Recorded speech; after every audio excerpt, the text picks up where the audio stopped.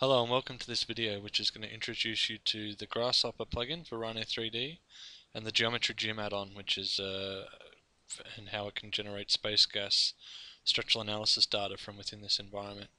I'm going to start with uh, just native Grasshopper and basically it's a series of calculation components which have a series of uh, inputs on the left hand side and then calculate a numeric uh, a, a result on the right hand side so it can have multiple outputs. So I'm going to start just by creating a circle in Grasshopper and then I'm going to use a number slider where I can change the numeric value to determine the radius as an input for that circle. Next thing, I'm, let's assume we actually want to create a series of steel beams which uh, span from the origin out to the uh, perimeter on the curve. Then I can actually create a, a line component which takes a start point and an end point. The start point we can set equal to zero or the origin and then the endpoint we could actually divide the curve into a number of uh, two uh, equidistant points. So if I type in divide, okay, I can wire this curve, the circle in as a curve. The default input for the number of segments is 10, but again we could actually create a slider or we could actually use um, inputs from spreadsheets, text files and bits and pieces and then use that to change the, the number of perimeter points and then those points could be wired in as the endpoint. And you can see then the, the process is captured in the model and it's updating uh, as we make changes to the inputs. Okay, this is native Grasshopper, and then if you install the Geometry Gym add-ons, particularly Bullant and the SPACE GASS plugin, then we have means to start to build or populate this model also with structural analysis attributes and relationships. So I'm going to first of all create a material to apply to the uh, to these this analytical beams that we create. Okay, by default this values um, input for mechanical attributes of a steel material and then the next input that we'll need basically is one to create a profile property to assign to the beams that we create. So I'm going to say create section property. One of the inputs it needs is a material. The other that it needs is a profile description. So let's call up an Australian UB section. So 180 UB 16.1. Now these are values that you'll have used in natively in the SPACE GASS environment. And a catalogue, which might be Australian 300. And then you can also generate section property marks and bits and pieces as well. Okay. So by now we actually have an output which is a structural analysis property. Note that the text, that uh, the real-time response that Grasshopper gives is giving in the SPACE GASS text file format. So the last thing we need to do then basically is create a series of beams that span or have the path along the lines that we're generating.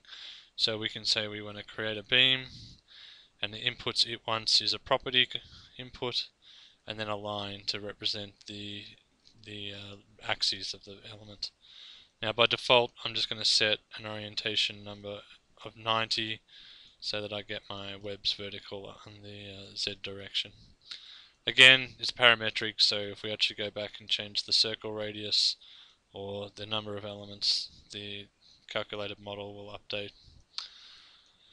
Okay, we can also generate other structural analysis attributes. For example, we might want to generate node restraints to be on particular nodes in this model. So I can one set a node restraint. I can add a boolean toggle to set to true the restraints in the x, y, z directions as a pin. Wire that into the node restraints and then the points we might just restrain it on these points on the perimeter. So this will create a, uh, a, a, a pin restraint in the SPACE GASS model at each of these locations. It's also possible to set up load cases it's also actually possible to execute the solver um, and interrogate results directly from from uh, within Grasshopper. But so let's set up a, a load case.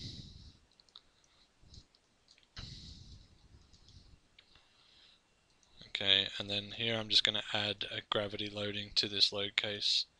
So I can pull down, you can see there's some other UDLs and, and load nodes and thermal loads that we could have but I'm just going to add a gravity which takes an input as a load case.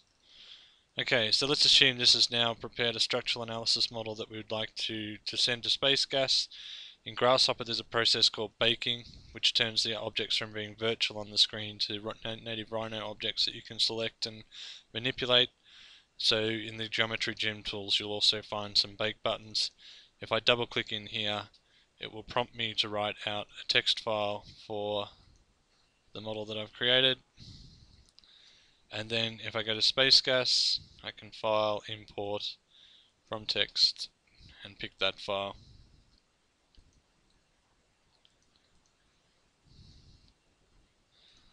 Okay so I change my viewpoint and I can turn on various attributes including restraints then you can see or we can go to the rendered view okay and we can set it to rendered or turn on various restraints and bits and pieces in this environment. Okay, now the beauty of Grasshopper is then that it has captured this whole modeling process. So if we come back and decide we want to change one of the inputs, for example our base assumption that a circle was providing the equidistant points on this location, maybe it's an arbitrary shape and I'm going to set some points for which I'll ask Rhino to interpolate a curve between.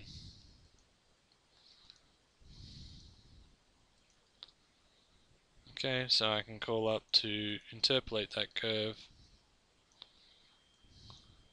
and set its periodic or closed.